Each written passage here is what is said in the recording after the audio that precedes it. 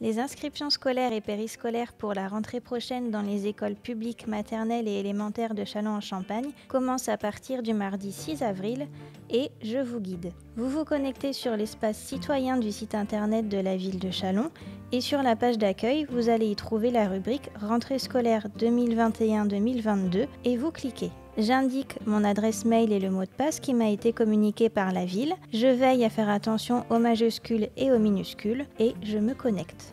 Je retrouve toutes les données concernant ma famille, mon numéro de carte famille, mon adresse postale et toutes les personnes qui figurent sur ma carte, moi-même et mes trois enfants. Annabelle, née en 2011, Ophélie, née en 2016 et Bruno, né en 2018. Je vois juste en dessous l'historique de ma situation. Je vois que j'ai mis à jour ma carte famille pour l'année 2021-2022. Le menu à gauche me propose la rubrique Mes inscriptions. Je clique. Je souhaite procéder à de nouvelles inscriptions. Je clique sur Demande de nouvelles inscriptions. Je sélectionne le service concerné, scolaire ou périscolaire.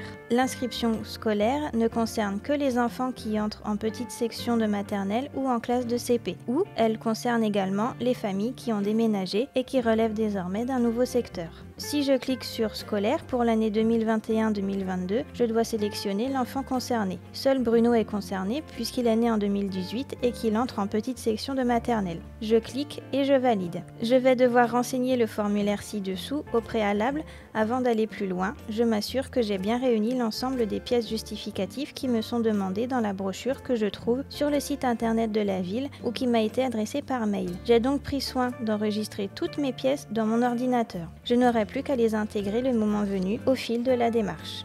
Pour Bruno, né le 1er janvier 2018, on m'indique qu'il faut ici renseigner le carnet de santé. Je vais choisir un fichier que j'ai renommé dans mon ordinateur carnet de santé. Je clique sur ouvrir et je choisis le PDF carnet de santé qui est intégré à la démarche. Cette page du carnet de santé, il s'agit bien des deux pages sur lesquelles figurent les vaccinations. Prenez bien soin avant de scanner ces deux pages d'avoir inscrit le prénom et le nom de votre enfant. Le niveau scolaire, petite section, l'école de secteur, la maternelle Prière de la Marne.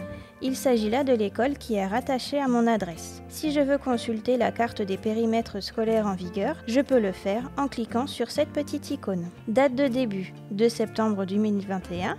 Il s'agit là de la date du premier jour de l'année scolaire. Date de fin 6 juillet 2022. Mon enfant s'inscrit pour la première fois à l'école. Dans le cas présent, je coche. Si ce n'est pas une entrée en petite section, je ne le coche pas. Si je souhaite m'en tenir à cela et valider l'inscription de mon enfant sur son école de secteur, je valide et ma démarche est terminée. Si je souhaite inscrire mon enfant dans une autre école que celle de mon secteur, je dois faire une demande de dérogation.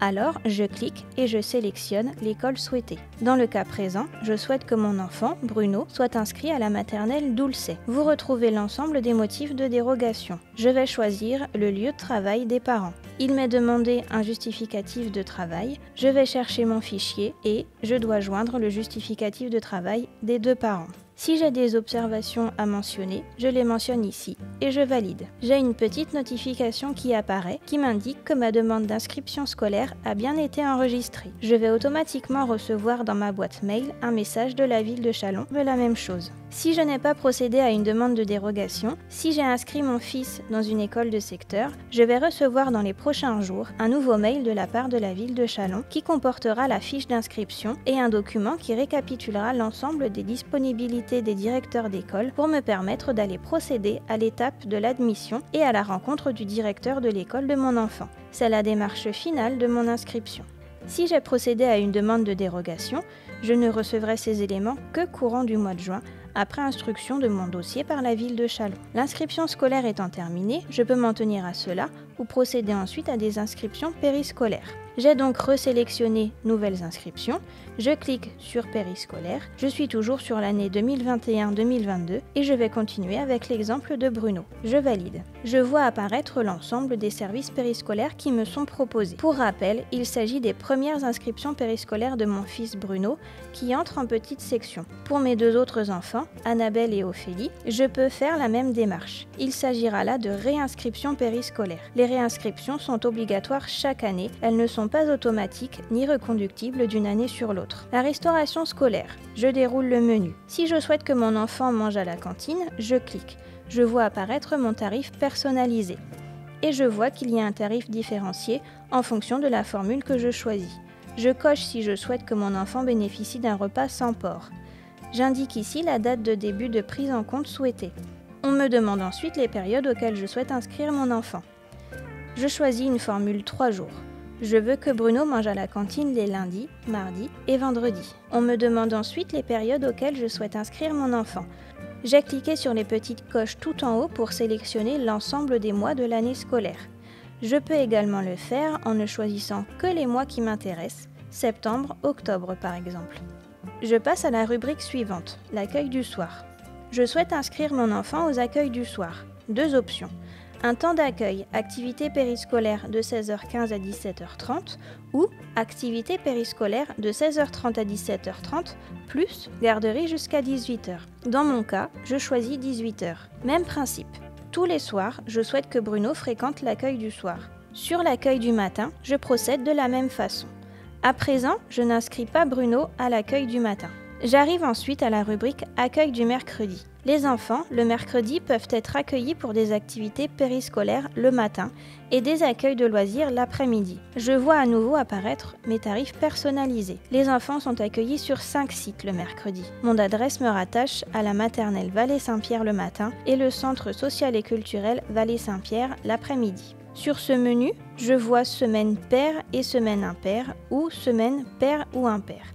Dans mon cas, je souhaite que les semaines paires et impaires, donc tout au long de l'année, mon enfant fréquente l'accueil du mercredi. Je n'ai pas d'autre choix pour Bruno, car il est né en 2018, et puisqu'il a moins de 4 ans, je ne peux que l'inscrire aux activités périscolaires du matin, sans le repas. Pour mes autres enfants, Annabelle ou Ophélie, j'aurais vu apparaître un menu avec les autres formules. Dans le cas présent, j'inscris Bruno toute l'année en matin sans repas je vois une petite coche Accueil du matin. L'accueil du matin, c'est la possibilité d'arriver échelonné entre 7h30 et 8h30 à la maternelle Vallée-Saint-Pierre ou sur les autres sites.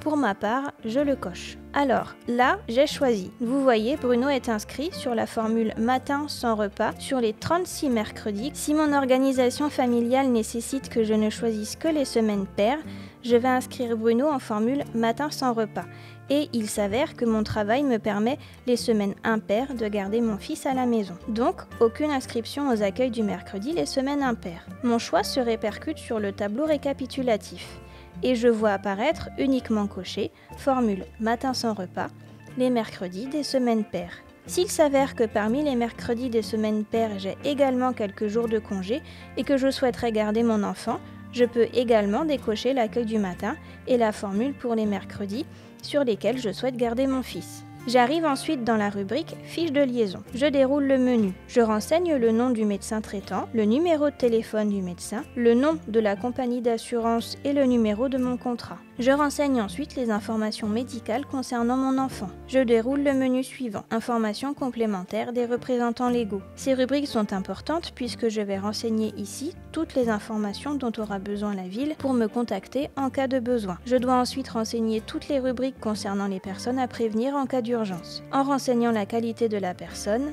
parents, grands-parents ou autres liens de parenté, les personnes habilitées à reprendre mon enfant, si d'autres personnes que moi ou le représentant légal d'eux sont amenés à reprendre mon enfant à l'école, alors je renseigne l'ensemble de leurs coordonnées. Arrive ensuite l'étape des autorisations. Évidemment, les services périscolaires sont des services facultatifs et payants je vais opter pour le prélèvement automatique. Si je ne souhaite pas opter pour ce prélèvement, je choisis un autre mode de paiement. En souscrivant au prélèvement automatique, je vais autoriser la ville de Chalon à débiter mon compte. Pour cela, je joins un RIB. J'atteste sur l'honneur l'exactitude des renseignements fournis, je clique et j'indique que j'ai accepté le règlement intérieur des services périscolaires que je retrouve en cliquant sur ce lien et je valide. Une notification apparaît ma demande de préinscription périscolaire a bien été enregistrée. Donc je vais recevoir aussi automatiquement dans ma boîte mail un message de la ville de Chalon qui va m'indiquer que ma demande de préinscription périscolaire a bien été prise en compte et au mois de juin, je recevrai la validation définitive de mon inscription au service périscolaire. Les inscriptions sont à renouveler pour chaque enfant et chaque année. Ce tuto est terminé. En cas de besoin, vous pouvez contacter la ville de Châlons-en-Champagne au 03 26 69 38 38 et poser l'ensemble de vos questions.